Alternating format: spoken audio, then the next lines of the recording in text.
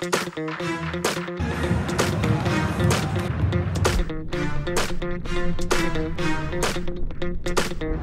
you.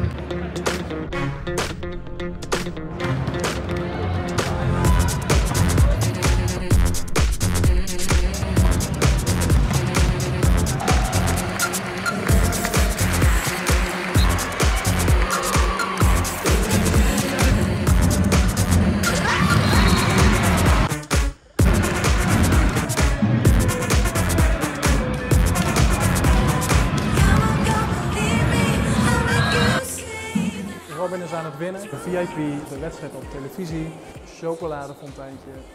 Wat een luxe.